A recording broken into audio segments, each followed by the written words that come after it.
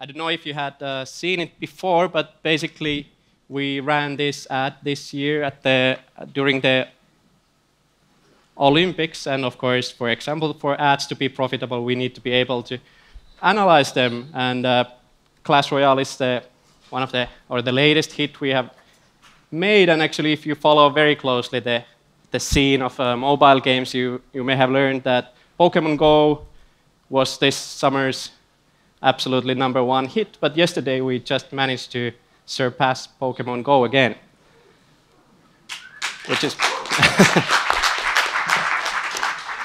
uh, I'll try to keep this kind of uh, as a maybe a case study or introduction to Supercell and how Supercell designs games and more about how we use information to help that. And uh, as, a, as a background, as uh, Lassi said, uh, I, I, joined the company in 2012. My original background is actually in physics, theoretical physics. I was doing a PhD in 2012, and at some point I, I wanted to go into some kind of a real work or, or something like that. And I thought that maybe this analysis could be a more simple one, and I wouldn't have to bang my head all the time to the wall with the age-old age-old uh, problems of science. But uh, little did I know, and I, have learned that social, social science or understanding people's behavior is way, way more complex than that. All right.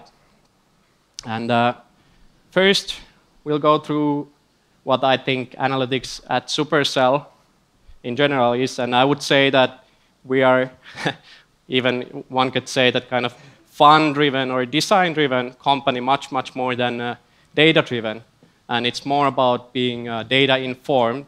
We, the system works so that uh, all the live game teams have one analyst, such as me or data scientist, in the team answering to basically all the data needs the team might have, starting from basic KPIs like retention to more complicated ones like understanding players' very particular behaviors. In 2012, we only had Hay Day out, and we hired the first analyst.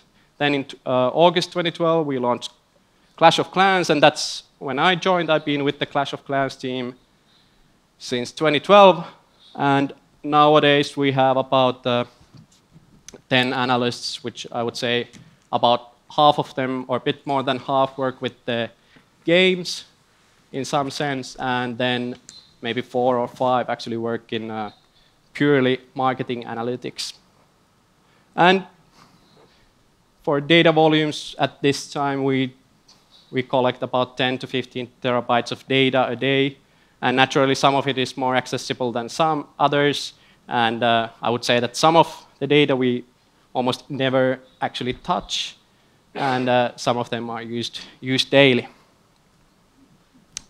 The basic things we, of course, need to give for everyone in the company, and we have a very open atmosphere at the company. So all the employees of the company actually get the basic KPIs every morning into their inbox, email inbox, which has stuff like how many players did we have, how much revenue did we generate yesterday, what are the key retention figures, and, and some others like customer satisfaction rules. The biggest impact, I think, we give is that was also talked in earlier today is the focus that we can look at stuff the players are doing in game and kind of help the design to choose if that's kind of uh, something that no one is all using. So maybe not even touch that because it's usually very difficult to change something that's not used at all because players or we as humans tend to kind of look at something and if we decide it, it sucks, we, we are very difficult to kind of sway to think that it's actually a good feature. So so the focus would be one of the most important things that we know what the players are doing, so likely those things are the ones that we might want to keep on redesigning. Of course, we learn a lot from community and players themselves directly. Then the other part of my job would be to understand the business in general, like how is China doing now, and uh, or what did, why did the retention go down, down in Asia, or what's the deal with the Android something somewhere, and just providing these kind of questions and answers to the team and also to the leadership. of the company. And in addition to that, we have some minor data products which, which use machine learning, but you can ask me later about those if, if you wish. And the environment is, if, if you play our games, you know that the, we update them roughly once in two months or so. So basically, that's the timeline in which we need to be able to analyze the latest update, give the feedback back to the team, and the team has to have time to actually redesign the thing if needed. So it's actually a pretty short time span and definitely a very difficult environment to do, for example, a long-term A-B testing to verify something like for, let's say, eight months. So we basically do quite little A-B testing, but it's also a design question that we do want to keep the games very, very fair for all the players so that everyone has the same, exact same game and we don't, we're not treating them in any uh, differently in any respect. We do have some minor A-B tests though, but not, not much of it. Sometimes difficulties come in terms of the people either trying to hack or mimic the system somehow, or then the device data might be, especially on Android, a bit shaky, or then we're using third-party uh, vendors who divide, uh, deliver us data about markets or in general acquired users. But most of the in-game stuff, which I work with, is pretty reliable because they come from our own server, so we are sure that the data that the players are doing and the data is representing kind of the truth. And also, of course, basic thing that whatever we do, we try to keep it actionable so that it would actually mean something to the game team. And of course, we are sitting in the game team, so we are very, very much in kind of, uh, we know what the game team is talking about, so it's kind of easy to keep on the actionability part of it. And also accountability. We have one guy doing basically all the analysis for one game, so it's kind of a situation where this guy is usually pretty trusted and has to be kind of accountable for whatever he's doing. So, and uh, this would be a since 2012, uh, I, I, just gathered a few questions that come up very, very often. What's the daily job for me or any of the game analysts at Supercell? And one could be like we have a lot of battles in game, like you saw in the video. That's for Clash Royale, but also for the other games. And the main thing would be like, are the battles balanced? Or if not, what's wrong? And I would say that that's one of the biggest things we've been following for several years in Clash. And balanced might not mean that it's always super fair, but it might mean more that people are actually using a wide vari variety of troops because even if the battles were perfectly balanced, but they would be using just barbarians, at some point the game would get a bit repetitive and boring and players would probably quit. So for us, the balance might mean more about people using a lot of tactics and so that no single tactic would come, come up as, as number one. Also, in addition, we of course follow things like the tutorial flow. We try to improve the first, first impressions of the players. Then there might be some specific issues with people not getting in after the new update.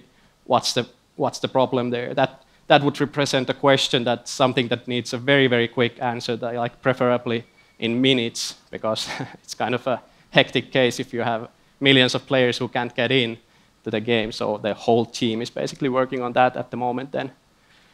And then fourth question, very general one, kind of we have, for example, the video I showed.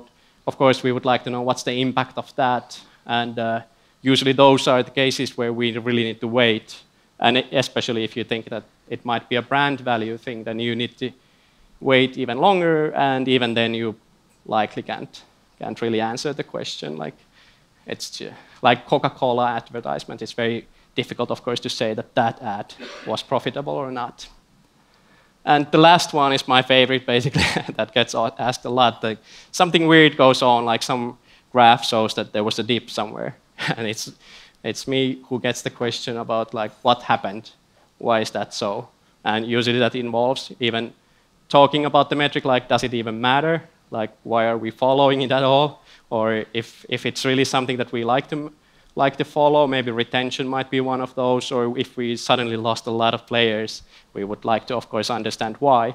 So then there's quite a lot of, it's often pretty simple descriptive analytics about what kind of users are facing this problem, but also trying to find maybe the core issue, issue of the problem. Of course, and uh, for us to know, we, we need to collect I guess this was, you called it spying. So basically looking at what the players are doing, like if they build a house, we will send an event. And I don't actually have a slide about it, but after this event gets sent to some servers, there is actually a whole team working on the whole data infrastructure to get the data so that we can actually use that. And it's not always mentioned, but that's basically of uh, very high importance for us to have the capability to answer many, many questions in terms of like minutes, especially like if we have problems in, in the system. It's, it, it's something that we need to be able to answer. Of course, some, some things are not time critical and we can wait for weeks until we answer it, but some cases, some things we need to know pretty, pretty soon. Not real time, but, but quite, quite quick. And uh, I, I took this, uh, put this picture here because that pretty much explains most of what I do in games. Like we have a pretty clear problem, like we might be thinking about doing a new feature or looking at the older features, and it's a the question is very easy. Like, do the players like it, or would the players like this? What do you think? But usually the answer, or like where do you even start thinking about it? That's not very very easy or not even clear always. So quite a lot of my work goes into understanding the, the players in general and helping the game design to kind of create these mental images or prototypes or kind of player cases of, of what kind of players we have, what do they do, would this be of importance at all? But usually I don't know what I'm doing exactly, uh, but I, I know the problem. Okay, and the next part, I'll, I'll go through some of the examples, and they are not exactly, but roughly in the order of since 2012, like how we started understanding the broad audience we have, what kind of players do we have. And the, the name of the game is already Clash of Clans, so it has clans at least there, so probably we would like to understand the cl clans to some extent.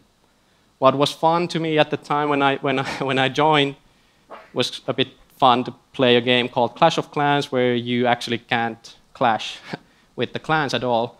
Nowadays we do have clan wars, but at the time you could only basically donate troops, chat. You couldn't even share those battles you had, like not, nothing basically. But still, it seemed like it was kind of a social glue of the game that there was a clan where you can talk and somehow collaborate with your players. So we wanted to, of course, understand how do the players organize themselves in this, this class. And this is a quite recent picture. Like on the left-hand side, you would see that there are lots of clans that have maybe one or two or three members. And, well, likely those are some very, very tight-knit group of people who know actually real life too, and they just use it to kind of hang around and play the game and donate.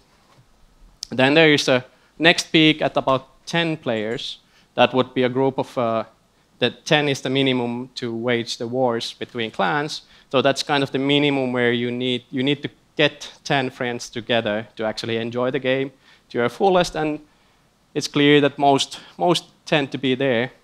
And then the last peak on the right would be at 45. So the wars go such that you can wage wars in uh, increments of five, like 10 people, 15 people, 20, 25, or 45, or 50, but most people seem to choose 45.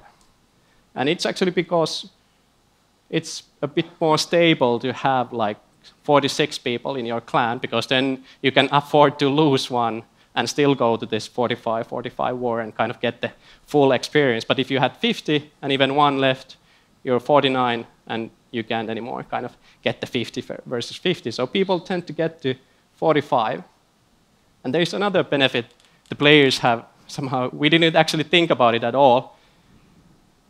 But the players tend to have these free spots in their clans so they can visit, visit each other's.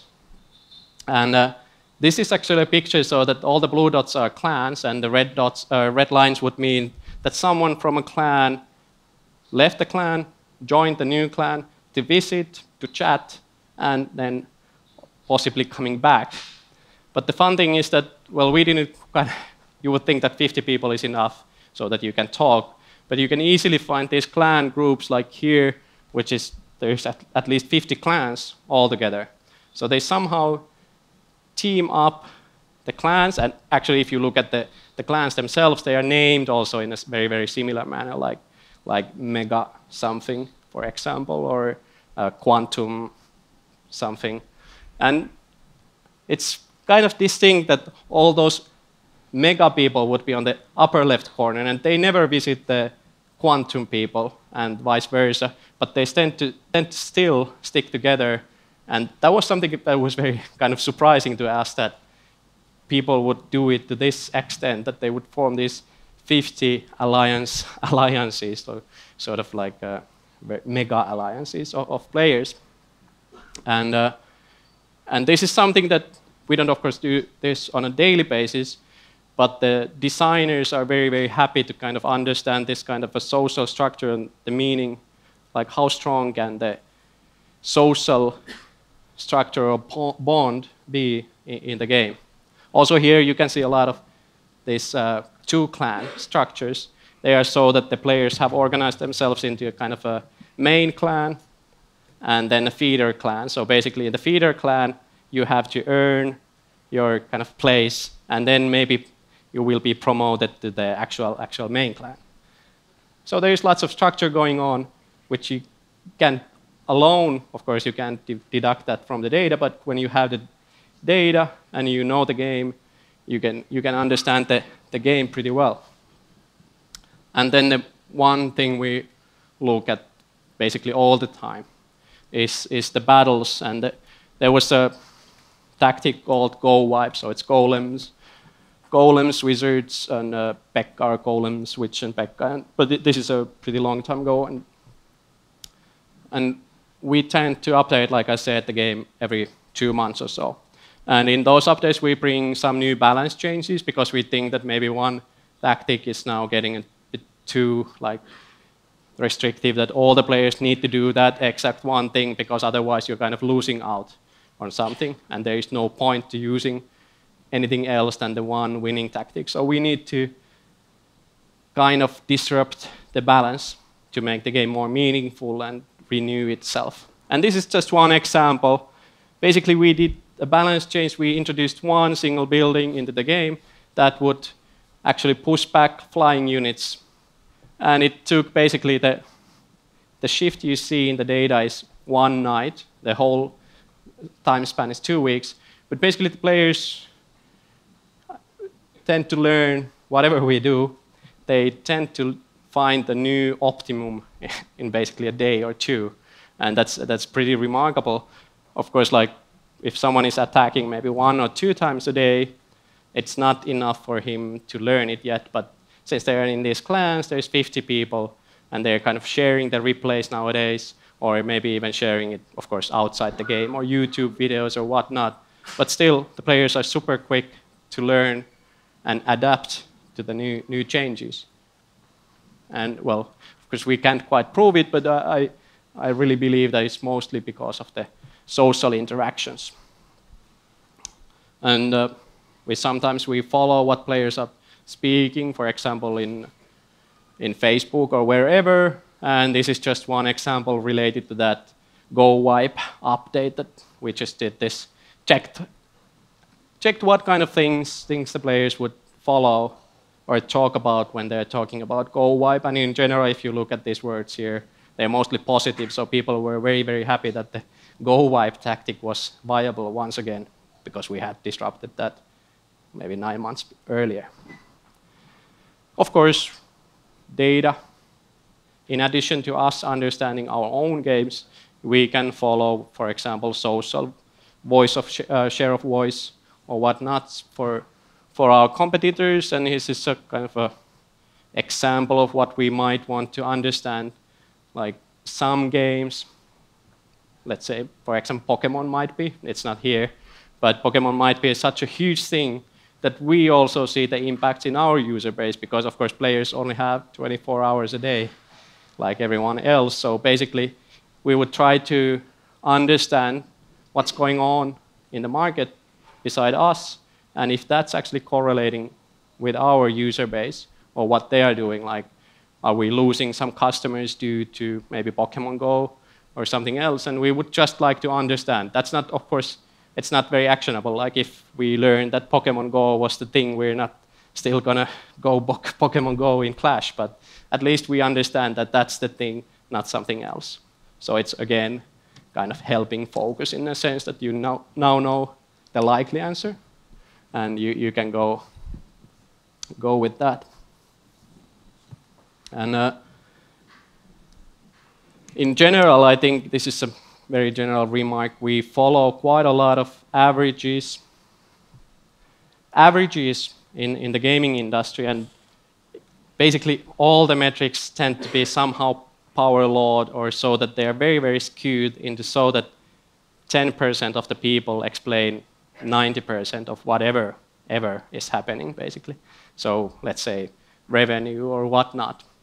And for that, I think it's very interesting that most of the businesses seem to follow, at least in gaming, they usually follow lots of uh, averages rather than medians or distributions in itself. And I, I, I, just think that,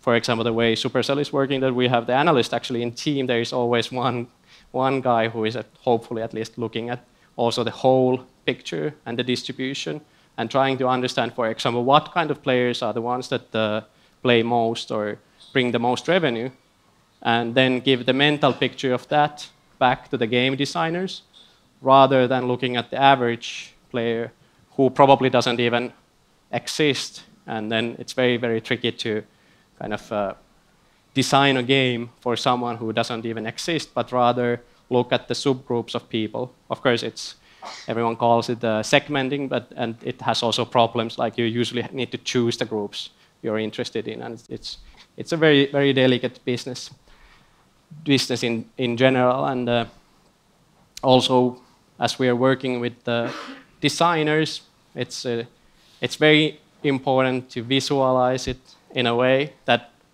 maybe it's not understandable, but it's at least interesting. So, so then you get to, get to explain it all. And uh, I think that's, that's one of the biggest things in my, my job also to visualize the whole in, in important thing. Like here, the last bar, would be the one that means all the other bars don't mean much. And this is, this is the conclusion. I'm not going to read it out. You, you can read it. But uh, I, would, I would conclude here, and uh, thank you. And uh, I'll be here.